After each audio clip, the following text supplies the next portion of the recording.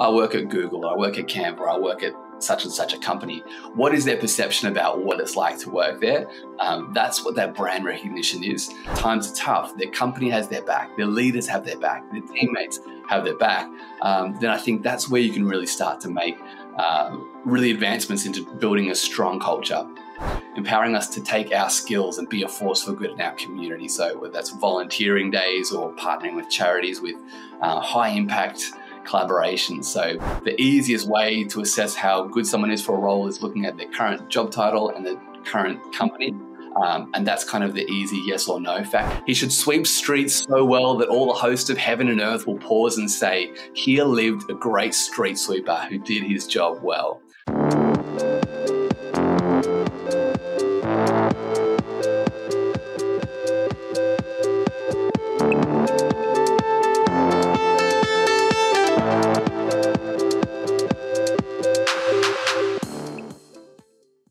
We are here with Mike Rubio, talent acquisition partner for Canva. Canva is an Australian grown graphic design platform used to help both creative and non creative minds create visually enticing content.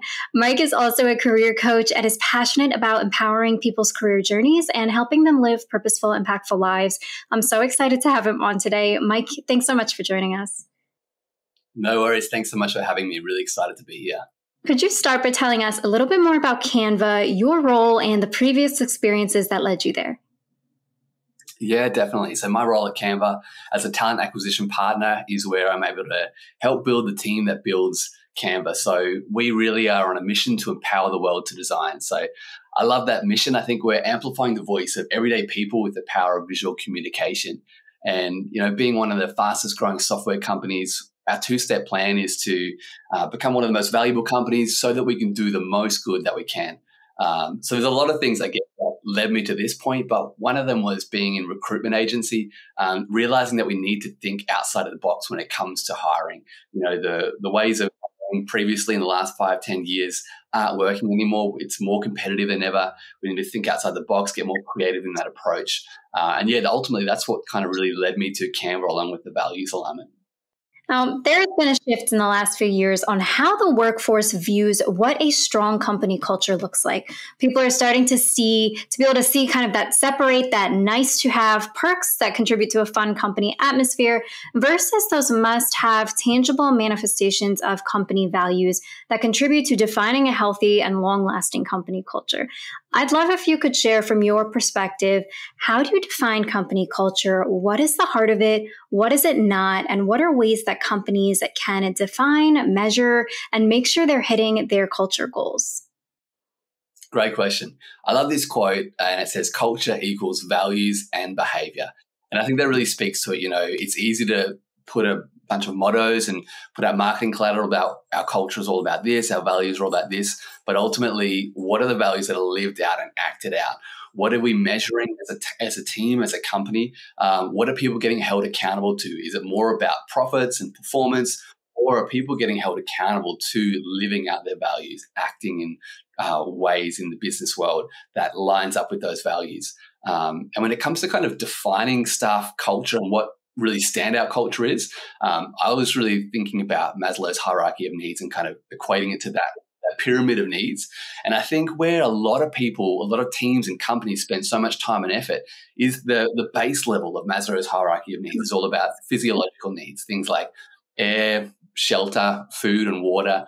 Um, a lot of companies really invest heavily financially into office space, food, beverages, drinks. Um, and really, that doesn't equal good staff culture. It can be a good tool that you can use to help that. Um, but if you kind of go up one level in that pyramid, uh, he talks about safety needs. And I think about in staff culture, psychological safety is a really key pillar, foundational building block. You can't have a good culture without psychological safety. So if your team are fearing being publicly torn down for making a mistake, or if they're worried about their teammates stabbing them in the back to climb that corporate ladder, um, it's impossible to have good staff culture. Then on the flip side, if you build psychological safety into your teams and they know even when times are tough, their company has their back, their leaders have their back, their teammates have their back, um, then I think that's where you can really start to make uh, really advancements into building a strong culture. And I think the next kind of level up in that pyramid is love and belonging. So if you really want to create an amazing staff culture, this is where you can really stand out. Um, and the question I'd be asking yourself is do your team feel like they really belong? Do they feel welcome and accepted and really part of the team? Uh, do they have that kind of human connection? Or is it, you know, when you're jumping on your Zoom calls or your whatever it is, whether it's meeting in person or meeting remotely, is it all about work? Is it all about the bottom line the KPIs? Or are you still creating time for that human connection? And, you know, today's world of work with such a distributed global workforce, it is harder to have those human connections, build those relationships. So I think that's something that we need intentionality around. Um, and then right at the pointy end of the pyramid, uh, Maslow's hierarchy of needs talks about esteem. And I think this is where, again, you can stand out. So, do your team feel respected? Mm. Does it feel like craft is taken seriously? And are they being recognized for their contributions and their effort? Um, are their team being celebrated? I love in Australia, we recently had some um, news about one of our world famous swimming coaches, Dean Boxall, and he just throws these ridiculous celebrations when his athletes win a gold medal or when they break a world record. Um, and it's, you know, it's gone kind of viral, but he's the best example of celebrating his team's wins. Um, I hate sport, I hate swimming, um, but I would be swimming with him cheering me on. Um, and then I think the last kind of the top of that pyramid is self actualization. And the question I'm asking around here is do your team feel empowered to be their best self at work? Is there an opportunity for career growth? Can they work on projects outside of the normal work to expand their breadth? Um, and are their strengths really being fully utilized? So I think if you know if you were to evaluate how is our staff culture, how is our company culture in those kind of levels, we can kind of get that baseline foundational pillars set in stone and then work on those really key moments where you can create that outstanding staff culture experiences within the team. Now, I've seen at Canva that you guys are super open, driven, and accountable in terms of the values you uphold. Let's dive a little deeper into that. Unpack for us the values Canva upholds as a company and what you guys are doing to make sure that these values are resonating with and perpetuating throughout the company. Yeah, I love that. Uh, we've got really strong reliance on our values for sure. They are be a force for good, pursue excellence, be a good human, mm. make complex things simple, and set crazy big goals and make them happen. Um, I think a lot of those values would resonate with a lot of different companies. What I think really stands out for me, you know, once joined Canva and seeing how things operate, is the value to be a force for good. Uh, I think that kind of and empower others. That kind of encapsulates so much of what we're trying to do as a company. Obviously, there's the business side of things, there's a product side and software and all of that. Um, but all of this really is a driver for us to be a force for good, to empower the world, to design and to make the world a better place. So, what I've loved seeing joining Canva is seeing how this is really led from our founders, really led from the top down. Um, and we see this kind of regularly, uh, these big displays of um, investing in charities and startups, investing with our product and giving away so much value in our premium product for free to, to education, to charities, for non for profits, uh, for people that really are on the ground doing the work that needs to be done to make the world a better place. We really want to empower them in doing that. Um, we're not trying to make profit from those kind of um, situations either. I, I've seen again and again, you know, our leaders set by example, but also empower us to do that. So just simple things like empowering us to take our skills and be a force for good in our community. So whether that's volunteering days or partnering with charities with uh, high impact collaboration. So yeah, I think that's really where what sets our, our values apart, I think.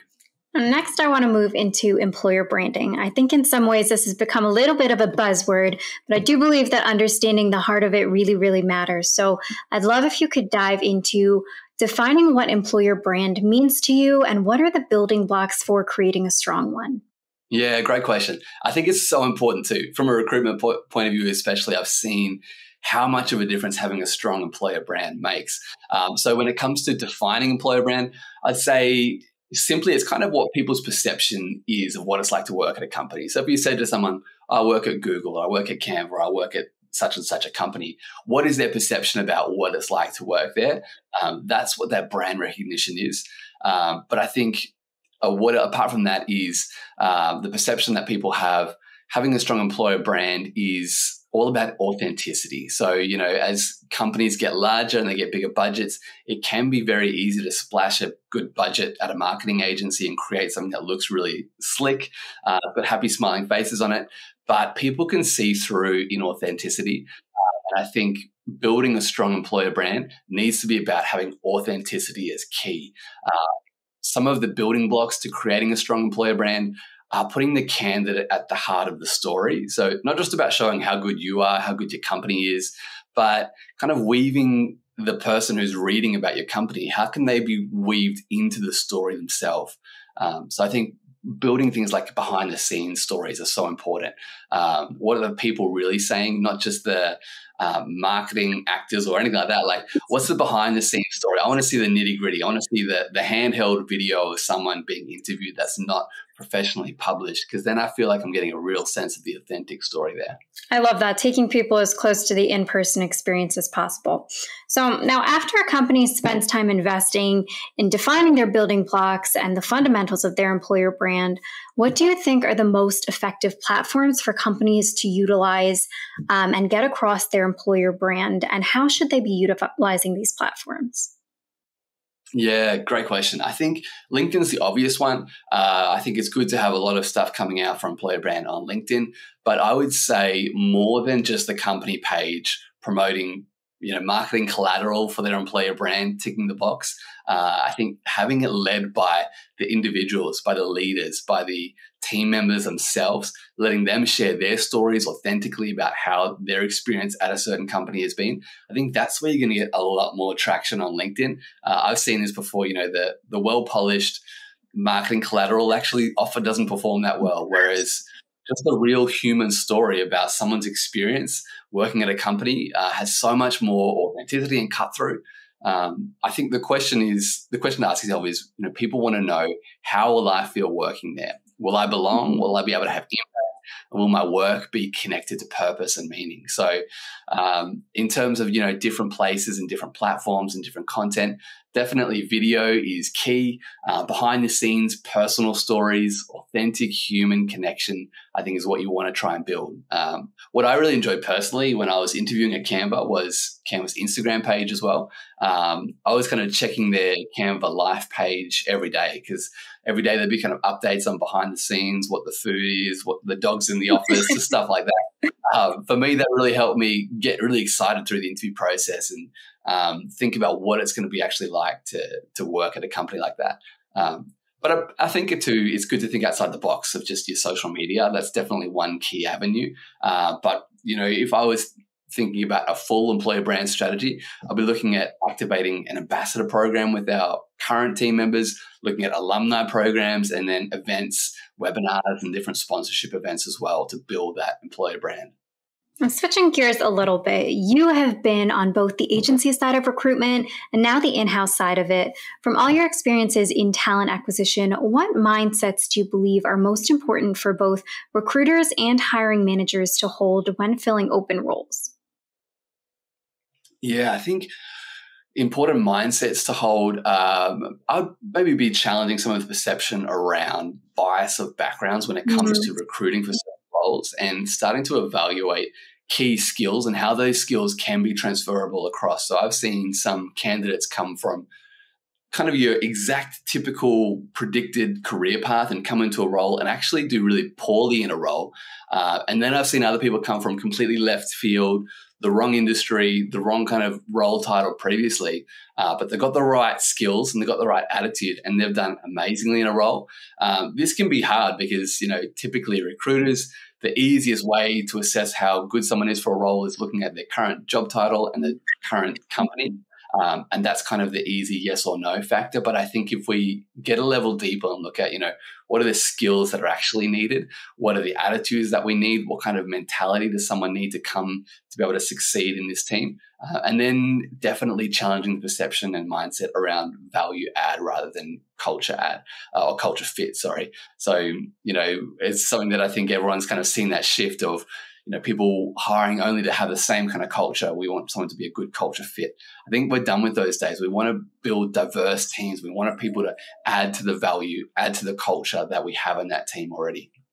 Now, at Solvable, we're all about understanding what drives purpose and meaning for people at work. For us, for us, that's super important to be able to understand this. So we're able to create that company candidate fit that promotes the growth and longevity. I know that you're a strong proponent of purposeful career decision making. So, what is your advice on finding purpose and meaning at work? How do people need to look at work to make sure they're seeing it as more than just a means to an end? Yeah, I love the way you phrase that. How do people see work? Uh, how do they they envision. I think that's so important. For me, my first, I remember my first job out of high school, I worked at a pizza shop and I was spending, you know, four to five hours a day making dough. And it was a really, it was kind of like a graveyard shift. There was no one else in the office. There was no customers, no other staff members. I couldn't have music. It was literally just me, these big chunks of dough that I was rolling, eating. Um, and you know, it was, it was kind of crushing my soul a little bit. It's like, oh, I left high school with so much ambition and passion. And now I'm just, making dough for. Um, but you know, it wasn't until I heard, you know, overheard this conversation with a little family, and the dad whispers to the kid that you know we're having pizza for dinner, um, and I heard the squeal of excitement from the little kid that they're having pizza party for dinner. Um, I realized, you know, the impact that I'm having, I can't see necessarily directly, but it's creating a space for your exhausted dad and mum to have a fantastic Friday movie night with their family, to create these beautiful family memories where they don't have to slave away in the kitchen, they don't have to clean up, they can just kick back with their family and have some quality time. So for me, I was able to tie that kind of end user impact that I was having to making dough. So while it was a really monotonous job, um, it was still having an important impact in other people's lives. Um, and I think about this flower guy. Uh, you know, when we talk about monotonous jobs and finding purpose and meaning, um, I don't know if it's the same in the US, but I, I often drive past people selling flowers and feel quite sorry for them. They're on the side of the road it seems quite boring just watching hundreds of cars go past. Uh, but there's this one man I used to drive past every day on the on the way to work, and he had this ridiculously large um, Mexican poncho, uh, Mexican hat, and every single person that went past him, he'd be waving and smiling and giving thumbs up to. Uh, and so every day I walked, uh, every day I drove past him, I'd wave to him, give him a thumbs up, uh, and for the next five minutes, I had this ridiculous grin on my face. I never bought flowers from him. I, I, was never one of his customers. He made an impact in my day in such a simple way. Um, so I think sometimes it's not always about changing companies or changing career goals. Um, I think to find purpose in your work, you can find purpose wherever you are and whatever you're doing. If you link your work to the end user um, and then to excellence as well. And I'll kind of finish this answer with a quote from Martin Luther King Jr. that I love. And it says this if a man is called to be a street sweeper, he should sweep streets even as Michelangelo painted, or Beethoven composed music, or Shakespeare wrote poetry. He should sweep streets so well that all the host of heaven and earth will pause and say, Here lived a great street sweeper who did his job well. I love that quote. So I think that kind of answers answers that question from my point of view. Oh goodness, Mike, I, I love that response so much. Last question for you: What drives purpose, meaning, and satisfaction for you at Canva? Yeah, great question. I think for me, being able to make a positive impact in people's lives is really what drives that purpose, drives that meaning, uh, really gets me excited about what I'm doing. So uh, I want to be able to see the individual, but also my hope and ambition is to be able to impact like a large audience as well, to be able to make a positive impact on their their lives, their worlds, their world of work, help them level up their careers. So um, in recruitment, that's sometimes really easy to see. Sometimes it's quite hard to see. You know, a good majority, a good percentage of our job is actually declining candidates that apply, um, which can be quite you know disheartening at times. But um, that's why I love doing career coaching and giving away career advice and trying to help people in that process because you know everyone is able to level up their job their career and find purpose and meaning in the work that they're doing so they can yeah make a better difference in the world Mike, thank you so much for being on with us today. If you guys don't already, make sure you follow, check out Mike's LinkedIn page. Um, he has a lot of great advice, content on navigating through your career journey. Thank you all for listening to Architects of Contemporary Hiring.